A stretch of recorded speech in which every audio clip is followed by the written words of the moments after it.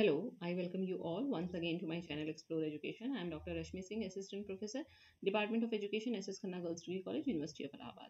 And this time I am going to discuss with you a new topic that is action research, its definitions, meaning and characteristics. Action research means क्रियात्मक अनुसंधान आपसे अनुसंधान पर बात हुई है qualitative research methodology पर mainly बात हुई है गुणात्मक अनुसंधान और क्वांटिटेटिव पे अभी कम बात हुई है एंड एक्शन रिसर्च पर बात नहीं हुई। तो एक्शन रिसर्च देखिए ऐसा टॉपिक है जो बीए में बीएड में एमए एमएड में आपको पढ़ाया जाता है, इस पर सवाल पूछे जाते हैं कॉम्पिटिटिव एग्जामिनेशन में। और बीएड के स्टूडेंट्स के लिए सबसे ज़्यादा ज़रूरी है बिकॉज़ ये उनके प्रैक्टिकम का हिस्सा होता है। क्यों? क्योंकि टीचर्स का ही लेना देना एक्शन रिसर्च से है। तो बींग प्रोस्पेक्टिव टीचर भावी शिक्षक बनने जा रहे हैं आप तो आपसे ये डिस्कस किया जाता है। आपको इसका करके भी दिखाना है प्रोजेक्ट में आपको मिलता है। तो जानते हैं क्या होता है action research according to Stephen M Corey one of the earliest proponents of action research it is the process by which practitioners attempt to study their problems scientifically in order to guide correct and evaluate their decisions and actions Stephen M Corey जो कि earliest proponents थे क्रियात्मक अनुसंधान के, सबसे शुरुआती विद्वजन हुए जिन्होंने इस पर बात की, उन्होंने कहा कि जो एक्शन रिसर्च होती है वो एक प्रक्रिया है जिसमें प्रैक्टिशनर्स प्रैक्टिशनर्स यहाँ पर शिक्षक हो जाएँगे, वो अटेम्प्ट करता है, प्रयास करता है स्टडी करने का, अध्ययन करने का प्रॉब्लम्स कौन सी प्रॉब्लम्स जो उसको अपनी कक्षा में मिलती हैं। एक शिक्षक को अपनी कक्षा में क्या प्रॉब्लम मिलती है? हो सकता है स्टूडेंट ध्यान ना दे रहा हो हो सकता है स्टूडेंट बार बार गलती कर रहा हो स्टूडेंट के संग कोई एडजस्टमेंट प्रॉब्लम हो, कोई बिहेवियरल प्रॉब्लम हो, कोई इमोशनल इश्यू हो, या वो कोई एक गलती बार बार दोहराता हो, है ना? या वो एबसेंट होता हो, या क्लास में उसका ध्यान, यही सारी प्रॉब्लम्स जनरली टीचर्स को आती हैं। तो प्रॉब्लम जो वो प्रॉब्लम आ रही है, उसको साइंटिफिकली स्टडी करना है, उसका सॉल्यूशन निकालना है इन ऑर्डर टू हम ये सब क्यों कर रहे हैं? इसलिए कि जो शिक्षक है, वो अपने निर्णयों और कार्य प्रणाली को निर्देशित करना चाहता है, सुधारना चाहता है और मूल्यांकन उसका करना चाहता है। जॉन डब्ल्यू बेस्ट जो कि बहुत फ़ेमस एजुकेशनिस्ट हैं रिसर्च मेथोडोलॉजी पर, इनकी किताब है एजुकेशनल रिसर्च पर, वो डिफाइन करते हैं कि action research is focused on the immediate application खास अंतर एक्शन रिसर्च का फंडामेंटल रिसर्च से यही है कि फंडामेंटल रिसर्च में जो रिज़ल्ट आते हैं, उसको आप जनरलाइज करते हैं पॉपुलेशन पर। क्यों? क्योंकि आप पॉपुलेशन से एक रिप्रेजेंटेटिव सैंपल निकालते हैं, उस पर स्टडी करते हैं। लेकिन एक्शन रिसर्च क्योंकि लोकल सेटिंग में है, क्योंकि स्पेसिफिक प्रॉब्लम पे बेस्ड है, और और ये इमीडिएट एप्लीकेशन यानी कि जिस पर दिक्कत हुई, उस पर आपने अध्ययन किया, अनुसंधान किया, छोटा सा लघु, और आपने उसका जो रिज़ल्ट है, उसको इमीडिएटली आप उसी फ़ील्ड पर अप्लाई कर देंगे। तो ये एक बेसिक डिस्टिंक्ट डिफरेंस इसका फंडामेंटल रिसर्च से है not on the development of theory हम थेरी नहीं बनाने जा रहे हैं। हमने सिर्फ़ एक प्रॉब्लम को फेल्ट किया है रियल प्रॉब्लम है, और उसका हम सोल्यूशन निकालने जा रहे हैं, यही लिखा है आगे। केमिस एंड मैकटागर्ट कहते हैं कि action research is a form of collective reflective inquiry undertaken by participants in social situation देखिए कितनी खास बातें रिफ्लेक्टिव इंक्वायरी है, यानी कि आप सिर्फ़ इंक्वायर नहीं कर रहे हैं रिफ्लेक्शन भी कर रहे हैं, सोच रहे हैं। फिर दूसरी खास बात कलेक्टिव है यानी कि ये इंडिविजुअल भी होती है एक्शन रिसर्च कलेक्टिव भी होती है। फिर अंडरटेकन बाय पार्टिसिपेंट्स यानी कि टीचर ने इसको किया है अंडर टीचर ने शुरुआत की है इसको करने की। इन सोशल सिचुएशंस कि आप लेबोरेटरी में नहीं कर रहे हैं वेरिएबल्स को कंट्रोल uh, करके नहीं कर रहे हैं सोशल सिचुएशंस में कर रहे हैं। और क्यों कर रहे हैं? इन ऑर्डर टू इम्प्रूव क्योंकि आप सुधारना चाहते हैं। क्या सुधारना चाहते हैं? The rationality and justice of their own social और एजुकेशनल प्रैक्टिस जो हम शैक्षिक प्रक्रियाएँ सामाजिक प्रक्रियाएँ जो हमारी है उन्हीं को तार्किकता और और न्याय की दृष्टि से उनको सुधारना चाहते हैं as well as their understanding of these practice and in the situations in which in which these practice are carried out इसके अलावा और डेफिनेशन है कि action research aims to contribute ये इसका उद्देश्य है कि वो कुछ योगदान करना चाहता है किसमें?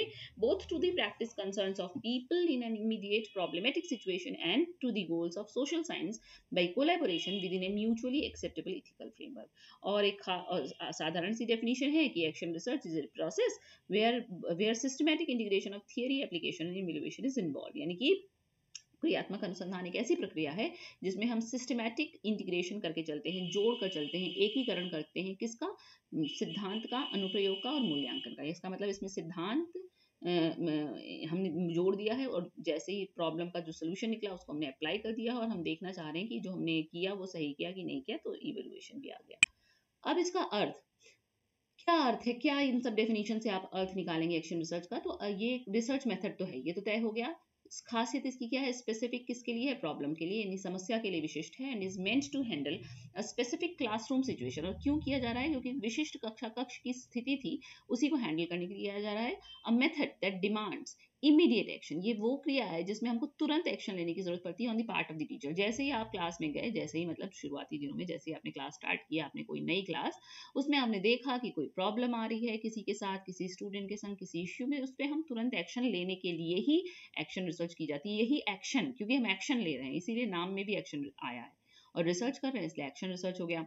It is a process specially adopted for improving the teaching learning situation खास बात इसमें यह है कि ये क्यों अडॉप्ट किया गया है? क्योंकि हमको शिक्षण अधिगम प्रक्रिया में सुधार चाहिए। It is a deliberate solution oriented investigation यानी कि एक ऐसी प्रक्रिया है जिसमें हम जानबूझ हम कर रहे हैं, हम सोल्यूशन ओरिएंटेड है गोल ओरिएंटेड है फोकस्ड हैं, ताकि हम सोल्यूशन निकाल सकें किसका? प्रॉब्लम का। और action and research highlight the essential feature of this method where action means trying out new ideas मतलब कोई दिक्कत आई, उस पर आपने, जब आप इसका मॉडल पढ़ेंगे कि एक्शन रिसर्च कैसे लिखी जाती है, कैसे की जाती है तो जो भी सोल्यूशन आती है उसके हम कई हाइपोथेसिस बना के चलते हैं। अच्छा अगर बच्चा एबसेंट हो रहा है तो ये हो सकता है उसके घर में कोई प्रॉब्लम हो, ये हो सकता है कि उसकी तबीयत खराब हो, ये हो सकता है कि कोई दिक्कत हो, ये हो सकता है कि क्लासरूम में उसका किसी से झगड़ा हो गया हो, ये हो सकता है। कितने सारे आप उसके प्रॉबेबल सोल्यूशन सोचेंगे और फिर जो बेस्ट पॉसिबल सोल्यूशन होगा उसी पर आप काम करेंगे, इस तरह से होता है। तो हम ट्राइंग आउट हम न्यू आइडियाज़ निकाल रहे हैं।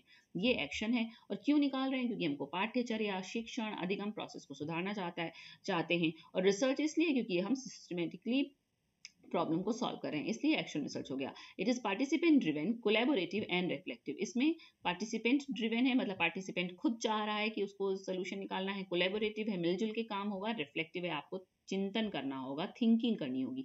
तो दो खास बातें एक्शन रिसर्च में निकल के आती हैं इन्वॉल्वमेंट और इम्प्रूवमेंट यानी आप इन्वॉल्व हुए हैं, आपने प्रॉब्लम को फील किया है, आप प्रॉब्लम में सुधार चाहते हैं, इसलिए। और इम्प्रूवमेंट तो आपको पता ही है। और truly speaking action research means action यानी कि एक्शन लेना है आपको। और एक खास बात और कि कर्ट लिविन जो साइकोलॉजिस्ट हुए जिन पर जब मैं कर्ट लिविन पर भी आपसे बात करी थी, तभी मैंने आपको कहा था कि कर्ट लिविन का श्रेय को श्रेय जाता है एक्शन रिसर्च को साइकोलॉजी में लाने के लिए और साइकोलॉजी से ही एजुकेशन में आया है। ठीक है? अच्छा अब इसकी कैरेक्टरिस्टिक देख लें तो फाइव सीज की बात करते हैं। कई जगह आपको ये डायमेंशन में भी मिलेगा। डायमेंशन ऑफ़ एक्शन रिसर्च के नाम से मिल सकता है कैरेक्टरिस्टिक्स ऑफ़ एक्शन की क्या खासियत है एक्शन रिसर्च की? तो बोर्जिया एंड शुलर ने बताया कि पाँच सी जो है इसकी खासियत है। कौन कौन से पाँच सी हैं? Five Cs commitment collaboration concern consideration और चेंज आप कमिटमेंट आपका है आपकी टीचिंग के लिए, तभी आप करने जा रहे हैं। कोलेबोरेशन यानी मिलजुल के टीचर स्टूडेंट टीचर टीचर का कोलेबोरेशन है। कंसर्न है हमको मेरे स्टूडेंट के लिए, इसलिए करना है। कंसिडरेशन जिसके ऊपर रिसर्च कर रहे हैं, उसके लिए हम कंसिडरेट हैं। और इसके बाद होगा क्या? चेंज लाएँगे। सब कुछ चेंज लाने के लिए तो हो रहा है। यही इसमें लिखा है। आप पढ़ लीजिए इसको। और और भी कुछ खासियतें हैं इसकी, विशेषताएँ हैं, जैसे action research enables the teachers to have a clear vision of the problematic situation जो भी प्रॉब्लम आई है, उसका एक स्पष्ट साफ़ चित्र इससे निकल कर आता है।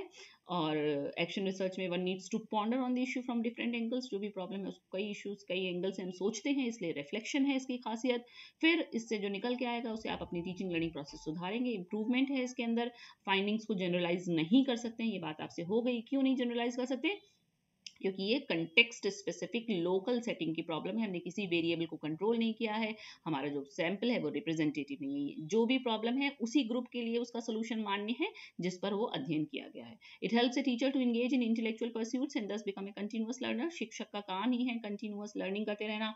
प्रॉब्लम आ रही है, उसके सोल्यूशन के लिए एक्शन रिसर्च हो रही है, जो रिज़ल्ट आ रहे हैं, वो अप्लाई किया जा रहा है। तो हम सतत एक क्रियाशील, चिंतनशील प्रक्रिया में लगे हुए हैं। तो ये एक तरीके से हमारे प्रोफेशनल डेवलपमेंट के लिए भी लाभदायक है और इट इज़ कंटेक्चुअल ये सबसे इसका खास हिस्सा है। This is an important characteristic of action research that is every research is perform for a certain specific context her action research जो होगी, किसी विशिष्ट, निश्चित संदर्भ में होगी और उसी में उसके उत्तर या सोल्यूशन या हल मान्य होंगे। तो ये एक मूलभूत आपके पास कंसेप्चुअल अंडरस्टैंडिंग एक्शन रिसर्च की और बाकी अभी आपको पढ़ना है मतलब हम बताएँगे आपको need of action research in education identification of problem for action research कैसे आप इसके लिए प्रॉब्लम आइडेंटिफाई करेंगे और basic difference between action research and fundamental research okay so, this very topic i have completed. So, thank you and don't forget to like and subscribe my channel, explore education. I have done from my side.